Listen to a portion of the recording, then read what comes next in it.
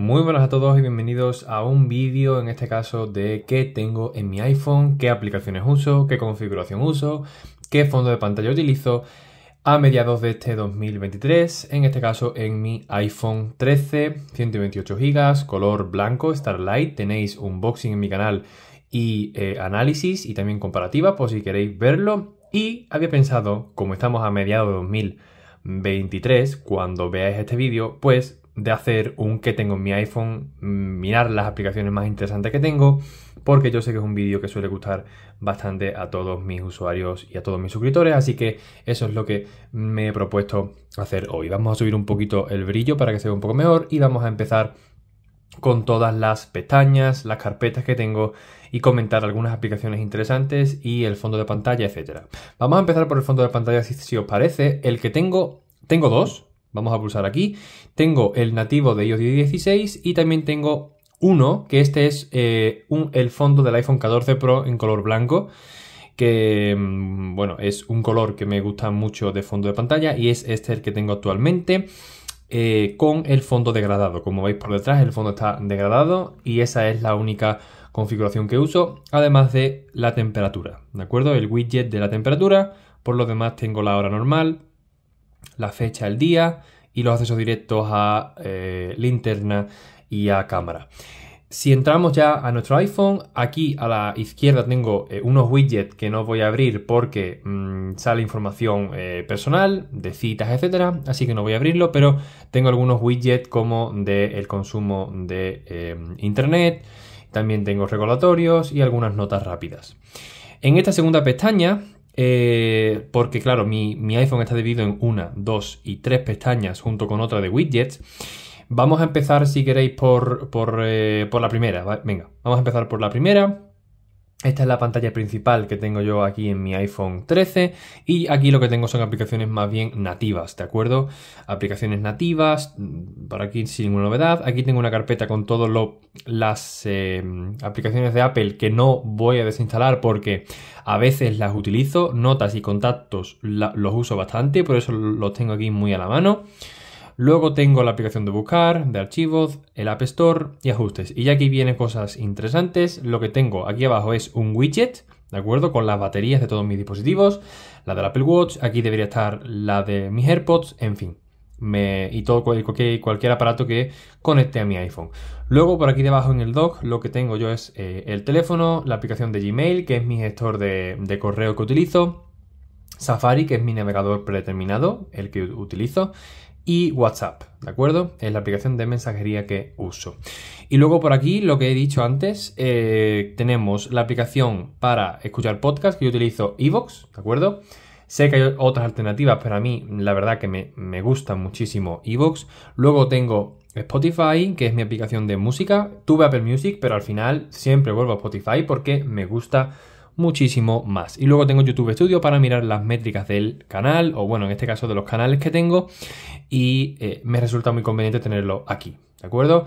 Luego si nos vamos a una segunda pantalla, aquí tenemos ya eh, aplicaciones de banco, de compras y de redes sociales. Vamos a hacer un poquito zoom aquí para que lo veáis.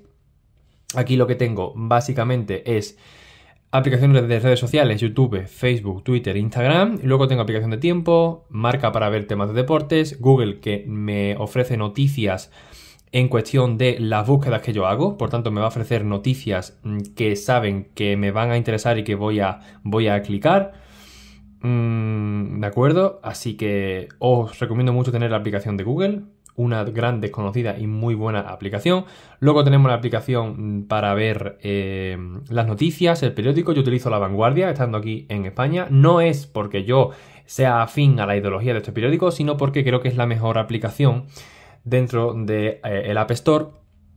De acuerdo, y creo que es eh, muy buena, muy por delante del mundo y del ABC en cuanto a aplicación, ¿vale? Siempre yo me estoy refiriendo a aplicación, no a ideología política, ¿de acuerdo? Ya que como sabéis, pues todos los periódicos pues tienen su línea editorial y algunos viran más a la izquierda, otros a la derecha. Yo, a mí eso me da igual.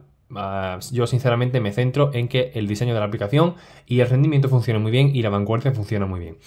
Aquí tengo la aplicación de mi operadora, que en este caso es O2. Eh, aquí en mi móvil principal yo utilizo O2. También tengo más móvil contratado. Si queréis, tengo un montón de vídeos hablando sobre qué compañía contratar, de Lowy, de O2, de Más Móvil, un top de mejores compañías, en fin, podéis echarle un vistazo. Luego tengo el traductor, yo utilizo el traductor de Google, también tengo aquí el traductor de Apple. Ah, no, pues me lo desinstalé. Estuve intentando utilizar el traductor de Apple, pero sinceramente no me convencía demasiado, así que opté por el traductor de Google, que es nunca falla, va muy bien y me gusta mucho eh, este traductor eh, en tiempo real. La verdad que mm, es el mejor traductor, ¿de acuerdo? Para mí es el mejor y así está.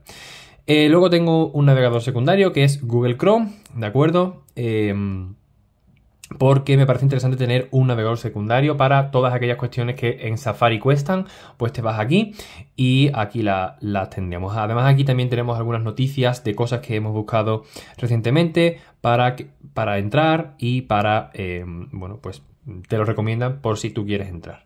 Luego tengo una aplicación que puede ser interesante aquí, que es Pocket. Esta aplicación sirve para eh, ver noticias más adelante, ¿de acuerdo? Por ejemplo, yo estoy aquí en la vanguardia viendo una noticia y digo, ah, vale, pues mira, esto me interesa.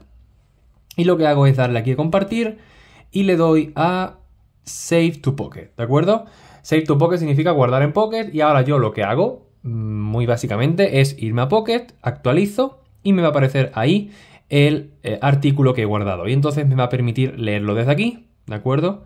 Incluso hacer notas como veis, lo podemos resaltar, o sea que es una aplicación muy muy interesante para gestionar eh, artículos que no podemos leer en el momento y leerlo más tarde. Una aplicación muy muy recomendable, mm, casi siempre que la saco en algún vídeo me lo preguntan, pues aquí está, se llama Pocket, ¿de acuerdo? La llevo utilizando desde que yo tenía Android hace muchísimos años. Luego mi gestor de GPS y de mapas es Google Maps, me gusta mucho más que Apple Maps. Mi, eh, correo, o sea, mi eh, aplicación de Fotos en la nube es Google Fotos, ¿de acuerdo? Mm, utilizo iCloud, pero muy poco, ¿de acuerdo? Utilizo Google Fotos, que tengo aquí fotos desde mm, prácticamente desde mi primer móvil, que fue un Galaxy Ace, así que desde ahí tengo fotos aquí metidas. Mi nube eh, principal es Google Drive para administrar los diferentes mm, archivos, bueno, Google Drive y también los archivos de Apple, porque eh, gracias a esta aplicación puedo tener una sincronización instantánea entre mi Mac, mi iPad y mi iPhone, ¿de acuerdo? Para el trabajo me viene muy muy bien. Acceder a archivos que tengo en el Mac directamente desde mi iPhone es una auténtica locura.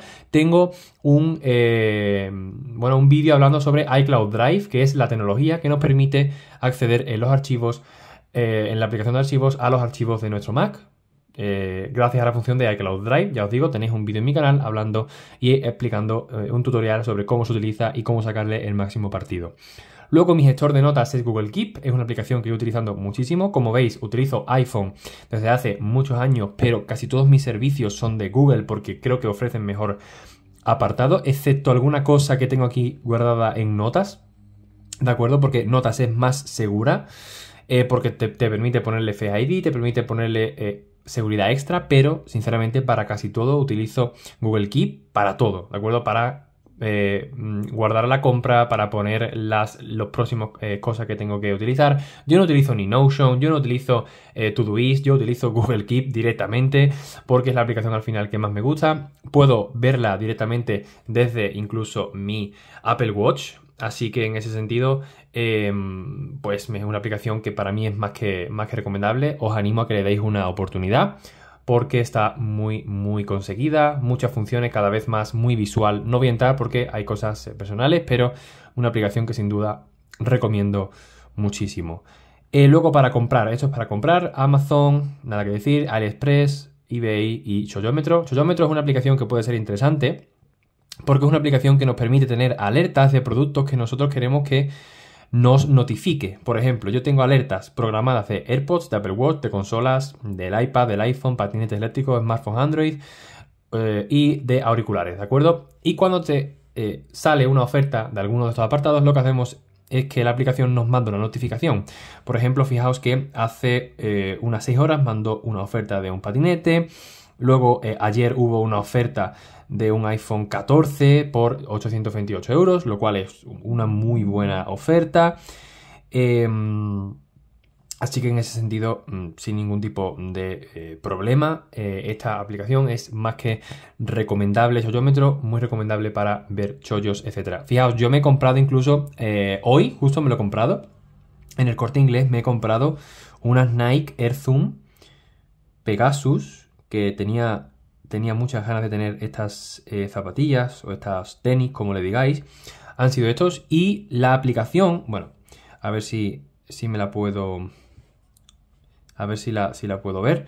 Eh, la aplicación me alertó hace unos días de esa oferta, ¿de acuerdo? Y yo pude entrar, en este caso, al corte inglés y comprar esa eh, oferta. Ah, fijaos, aquí está. Yo he comprado este, em, esta notificación me llegó hace unas horas y hace unos días lo compré, eh, o, sea, hace unos días y hace unas horas lo compré en este caso en color azul, las eh, Nike Air Zoom Pegasus 39 que valen 120 y a mí me ha costado la mitad, son 59, así que creo que es un, es un precio bastante recomendable. Y, bueno, pues gracias a esta aplicación pues mm, puedes eh, comprar productos de, mm, desde iPhone a ropa por mucho más eh, barato, mucho menor precio. Fijaos, ¿no? Por ejemplo, lo que digo, ese iPhone o incluso esas zapatillas de 120 a 60 euros os podéis encontrar con muchos chollos que estén intentando comprar. Luego Wallapop es una aplicación de aquí de España para mm, comprar y vender eh, productos de segunda mano o incluso nuevos. Eh, mil anuncios que también sirve para lo mismo, aunque me gusta mucho más Wallapop. Y esto es tema bancario, Imagine de CaixaBank y PayPal. Luego tenemos la, eh, bueno, esta la vamos a dejar para después, vamos a esta. Aquí tengo tres widgets. Aquí tengo el widget de fitness, ¿de acuerdo? Con mi de mi Apple Watch, de eh, el ejercicio. Luego tengo un widget de podómetro, que es una aplicación que está, a ver si la encuentro, está aquí. Se llama podómetro. Podéis encontrarla y tiene este widget bastante atractivo, muy bonito, donde si superamos el umbral de pasos que hemos eh, configurado, se nos pone en color verde y nos da una felicitación. Lo mismo con este de fitness del Apple Watch, es para medir nuestra distancia y nuestro entrenamiento. Esto es aplicación para mirar el precio de la luz actualmente, ya que últimamente la luz está bastante cara, aunque estos días pues está bastante barata. Así que una aplicación muy recomendable. Esta aplicación se llama literalmente eh, precio de luz o precio luz, ¿de acuerdo? Y es este, este iconito que está aquí. Y luego esta aplicación, que es un widget del fútbol, que es para ver la clasificación de la Liga Española con el último partido de mi equipo y la puntuación, pues se llama, a ver si lo encuentro, fútbol, ¿de acuerdo? Si ponéis fútbol en inglés en, el App Store, eh, tenéis que encontrar el que es, eh, vamos a encontrarlo nosotros, ponéis fútbol widget, ¿de acuerdo? Fútbol widget Vale, eh, se llama Teams Football Widget. Esta es la aplicación que nos permite poner eh, este widget, ¿de acuerdo? Así que es muy, muy buena, muy recomendable.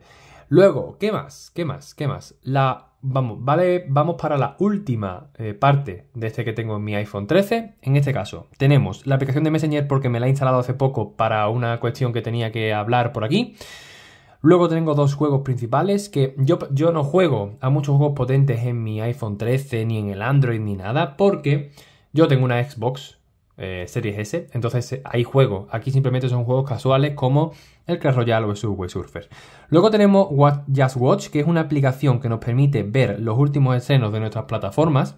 Aquí configuramos la plataforma que tenemos mm, contratadas. Yo tengo contratado Netflix, Apple, eh, o sea, perdón, eh, Prime Video y Apple TV Plus. Y aquí tenemos las, los últimos estrenos, eh, eh, algunas series importantes y novedosas, etcétera, etcétera. En fin, para ver las novedades me parece muy buena aplicación, incluso para buscar en qué plataforma está una serie. Por ejemplo, si buscamos 1899, que es la serie que yo estoy viendo ahora mismo y es muy recomendable, pues nos dice que la tenemos íntegramente en Netflix, ¿de acuerdo? y eso sirve para eso, para ver en qué plataforma está tal película. Mira, vamos a poner otro ejemplo. Yo estaba intentando de ver, de ver una película eh, muy que, se ha puesto muy de moda, que es Terrifier, que es de terror. ¿De acuerdo? Y vamos a ver si ya está en Amazon Prime, aunque se suponía... Vale, pues veis, ¿no? Aquí no hay ninguna. Veis que esa aplicación no ha llegado todavía. Pero la primera, ¿de acuerdo? Pues sí está en Filming y en Prime Video, ¿de acuerdo? Así que sirve prácticamente para eso. Luego tengo Netflix, Prime Video, Eh, nada que comentar aquí. Ah, bueno, y también se me ha olvidado, tengo Subsea, que es para ver las eh, eh, mis suscripciones, ¿vale?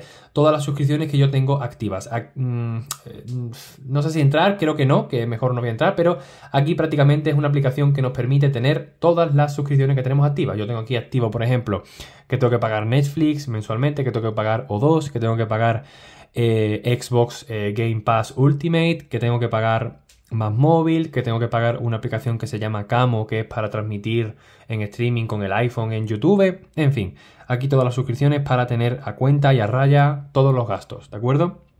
No, solo suscripciones, sino gastos de comida, de gastos eh, mensuales, trimestrales, lo que sea. Una aplicación para gestionar los gastos muy, muy, eh, muy sencilla y muy buena. Yo tengo la, aplicación de pago y, y, es lo mejor que hice porque son 3 euros, ayudas al desarrollador y te desbloquea algunas funciones interesantes. Luego tengo aquí Netflix y Prime Video, no hay nada que comentar aquí. Luego DuckDuckGo, que es una aplicación que cuando quiero entrar en una página que no quiero que me, salgan cookies, me salgan eh, cosas de publicidad, como por ejemplo en alguna página de aquí de España del Ministerio de Educación, de de eh, alguna página de Ministerio de Trabajo, etcétera, desde DataGo puedes entrar y eh, es una navegación mucho más segura. Luego tenemos diccionario de la lengua española, que es para buscar términos, sin más, ¿de acuerdo? Aquí buscamos términos y te da todas las acepciones del diccionario, actualizado obviamente, así que eh, sin ningún tipo de problema. Mm, vais a poder encontrar aquí mm, todas las palabras del español, por decirlo de alguna manera. Y ahora tenemos las carpetas y ya terminaremos. Tengo una carpeta principal con documentos que es PDF de Adobe Acrobat, Microsoft Word y Can Scanner. Esto es para tema trabajo, para escanear algún documento, para crear algún PDF o para visualizarlo, etc. Y Word no es para crear Word, sino para visualizar Words. Luego otras de útiles, que esto es de aquí de España. Este es el widget que os he enseñado antes, Given 5, que realmente no sé por qué está aquí, porque tampoco lo utilizo demasiado. Esto es para ver las métricas del de, eh, iPhone y la potencia.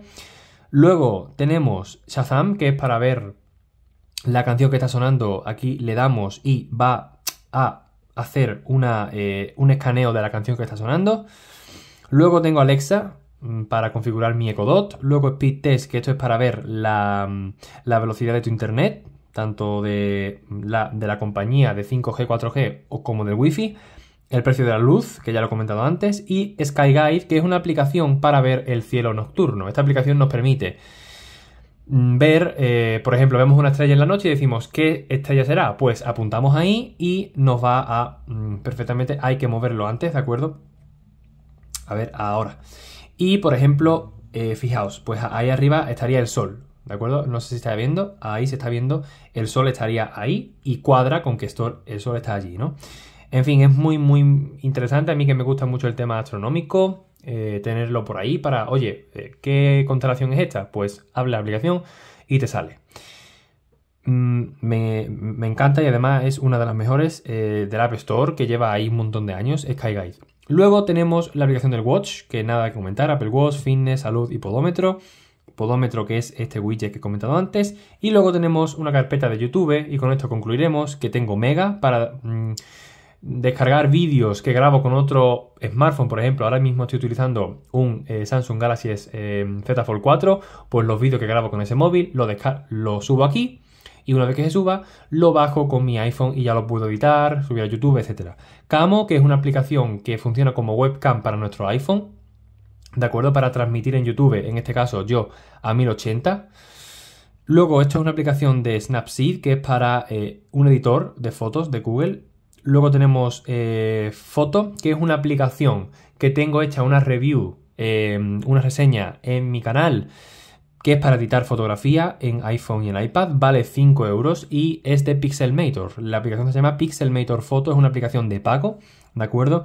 Y nos permite eh, hacer muchos parámetros con ella, incluso eliminar elementos, cosa que eh, y, lo hace de manera muy profesional, o sea, no es una aplicación que está muy cerca de lo profesional y eh, tiene unos, unos efectos muy muy potentes, muy buenos. Aquí tenemos para todos los parámetros de luz, todos los parámetros de visualización, eh, para cambiar la tonalidad, para cambiar el color, en fin, tenemos de todo, incluso opción de super resolución, por si alguna foto se ve muy mal, una aplicación más que recomendable por 5 euros que vale. Tenéis reseña en mi canal, Pixelmator, foto. Yo, yo pagaría esos 5 euros que vale esta aplicación sin ningún tipo de duda. Luego tengo Canva, que es una aplicación que utilizo para hacer las miniaturas de mi canal de YouTube, de los dos que tengo. Y una aplicación que, que hace eso, prácticamente, hacer miniaturas, ¿de acuerdo?